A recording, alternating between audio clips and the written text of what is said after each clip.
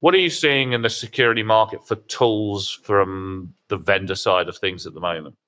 I think you're seeing a lot of consolidation going on. I think that we talk about gaps within the end user and the customer. There are a lot of providers out there that are pure play infosec organizations that are looking to develop roadmaps and tools sometimes they are going through that r&d route and different releases and patches etc etc but then i think you only have to look at wonderful world of vcs and private equity where are they putting their money there's so much investment going on yeah. into the cyber marketplace at the moment.